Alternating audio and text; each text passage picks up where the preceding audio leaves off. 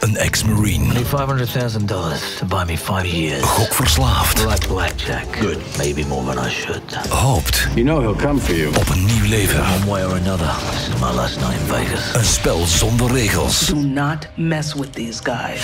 Jason Statham. Wildcard. Vanaf 11 februari in de bioscoop.